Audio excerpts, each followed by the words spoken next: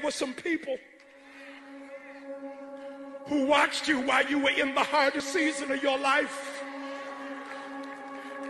And secretly, they were hoping you weren't going to make it. And you were praying the wrong prayer. You wanted God to kill your enemies.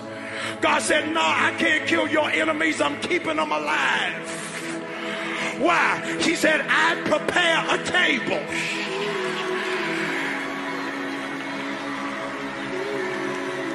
In the presence of your enemies.